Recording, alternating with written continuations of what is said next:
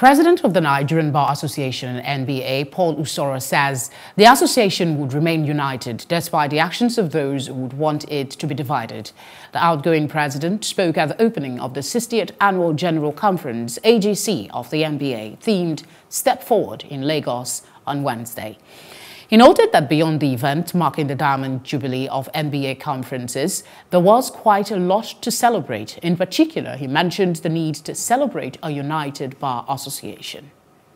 One of the critical ones that we must celebrate today is a united Nigerian Bar Association.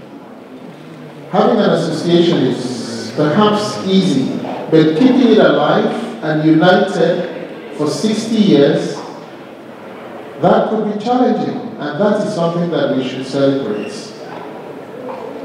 We have a bar that is not only united, but is professional. It does not pander to ethnic considerations, it does not consider religious considerations, it is a professional bar.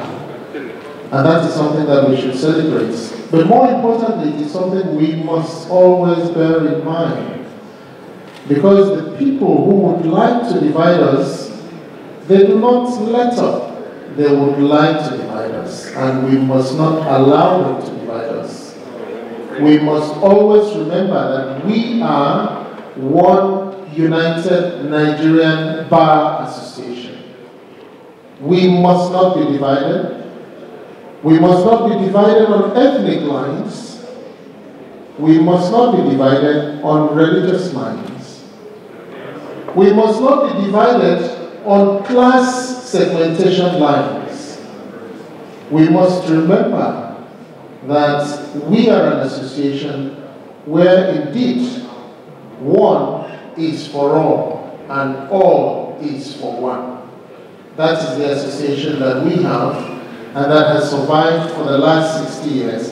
And that is sufficient cause. I'm sorry, the association has survived for more than 60 years.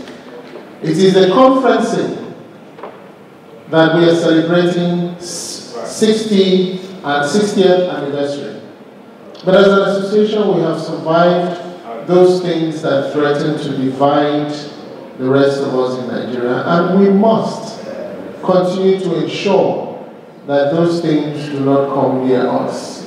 We must continue to ensure that we stay one united bar association.